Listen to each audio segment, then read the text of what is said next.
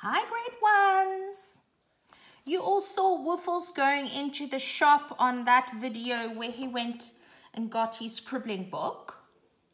And mum and dad probably went out to get you one as well. It doesn't have to look like this one exactly. As long as your papers are blank, that it doesn't have any lines.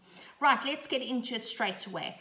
I'm going to show you today how to fold your pages for when we are going to start our work tomorrow in the books. Now we're going to fold it slightly different as to what we've been doing in class, so watch me carefully. You're going to take your page, fold it up, right to the top, and push down gently with your hands. Then you take it from this side again, fold it up, and push down again.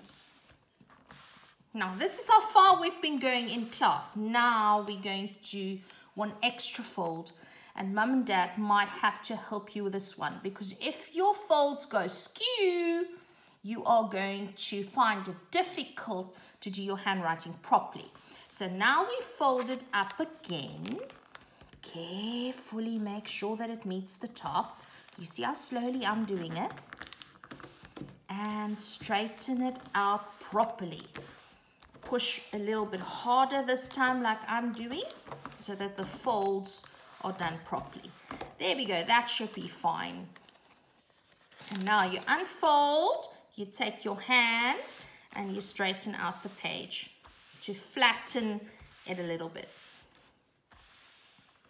Right, and that is how you are going to fold every page in your book before you start with the work. Bye-bye.